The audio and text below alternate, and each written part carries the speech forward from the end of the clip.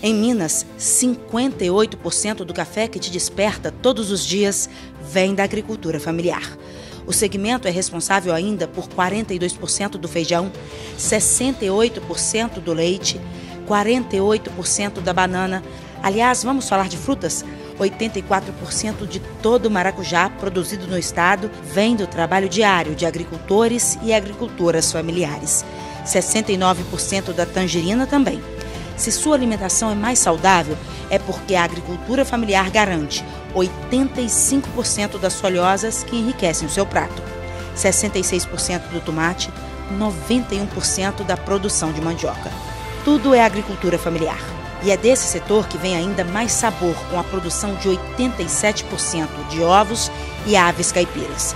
Sem falar da produção de mel, 81% concentrada nas mãos de agricultores e agricultoras familiares.